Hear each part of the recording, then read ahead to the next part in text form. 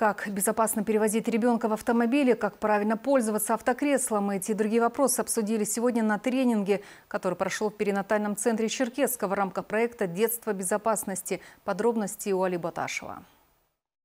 Такое кресло имеет а, определенное положение ребенка.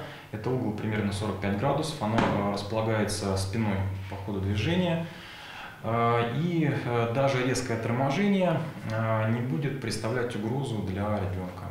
Нет ничего надежнее, чем руки матери. Можно обойтись и без автокресла. Это распространенный среди родителей миф, мешающий безопасной транспортировке ребенка, считает тренер экспертного центра движения безопасности Денис Давыдов.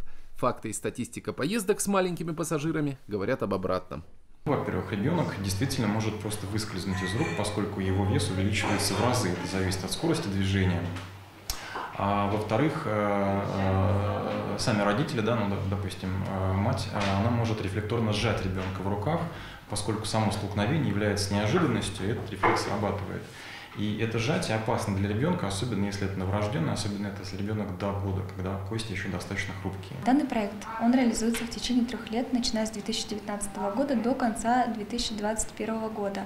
Реализуется он всегда на базе медицинских учреждений родовспоможения. Это либо перинатальные центры, либо родильные дома, для того, чтобы охватить все свое население и максимально качественно проинформировать молодых родителей о правильности перевозки малыша в автомобиле, так как основная цель данного проекта – это профилактирование дорожно-транспортных происшествий с участием детей-пассажиров. Врач Республиканского перинатального центра Алена Пономарева считает, что тренинги в рамках проекта движения безопасности будут особенно полезны для родителей.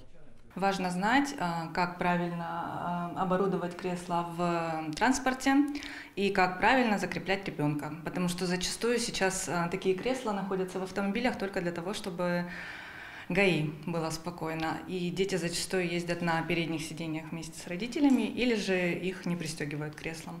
Всего с 2019 по 2021 годы федеральный проект «Детство безопасности» охватит 100 городов в 85 субъектах Российской Федерации.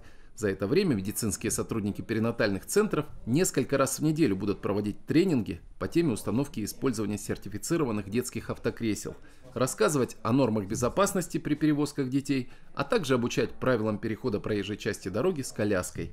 Али Баташев, Роберт Джигутанов, Вести Карачаева-Черкесия.